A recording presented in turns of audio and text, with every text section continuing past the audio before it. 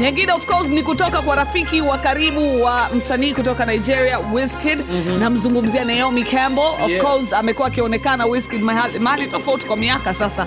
Na modo huyo maarufu duniani naomi campbell. Na watu wanajua sana kuhusiana na urafiki wao wa karibu. Naomi anazungumzia experience ya kuhangout na Wizkid kila anapokuja lagos Mm. anasema Wizkid sio kawaida yake kutoka Mm. umeona apendi kutoka lakini nikija lagos huwa nam- namlazimisha kwamba twende twende out Yeah. na huwa anabeba maelfu ya mapesa na akirudi harudi hata na shilingi mia Ah. Wizkid huwa anajitahidi hizo pesa zote azigawe ziishe kwa watu ambao labda wana uhitaji huko nje ama kwa wana yoyote yule Yeah. ili pesa ziishe. Kwao unaambiwa msanii Wizkid akitoka out eh, hiyo siku nawetega mingo barabarani. Okay, anakuwa na Inaweza anakuwa na kibunda afu arudigi nacho. Okay. na Wizkid alikuwa naye kwenye hiyo interview yake anaongea akasema unajua kama nisingekuwa natengeneza mziki ningekuwa mtaani. Kwa hiyo hao wangekuwa yani wangekuwa wenzangu tu. Kwa hiyo si mbaya kujitoa kwa namna moja ama nyingine. Kwa hiyo waga anabeba madola na madola ya pesa.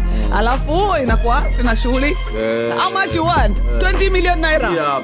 Eh, hiyo anagawa Yeah. yaani mpaka mneo mikepo mwenyewe anaambia we vipi akirudi nyumbani harudi hata na shilingi mia kutoka na pesa aliyotoka nayo kwenda night club usiku what are your comments let me know huyu hapa mwenyewe Naomi Campbell akiongea akiwa na whisky No, let me just tell you this quick.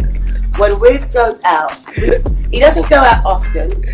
When he, and I'm like, when I'm here in Lagos, I'm like, please come out with me, please. Then I'm, mom, I want to stay home. But then he comes, and he comes, and he comes with his hand, with his pockets full of money, and he gives every cent. You do it.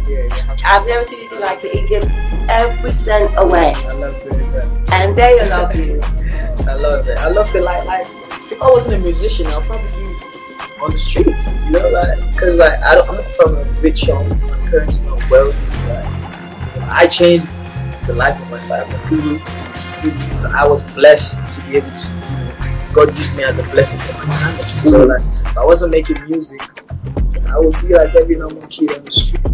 What are your comments? Let me know. Mina underscore aliko Instagram na Twitter MWNA underscore AWLY. Ni Yeah. gani hapa Tanzania ambayo unamuona kabisa yeye akitoka anagawa sana pesa, ana noma ku, Eh, kugaia. kutoa mavumba. Eh, kutoa mavumba yeye kwake ni shughuli ndogo, ana roho mbaya, Eh. tajiri, ana baya, akifa ozi. Nani? Let me know. Mina underscore aliko Instagram na Twitter.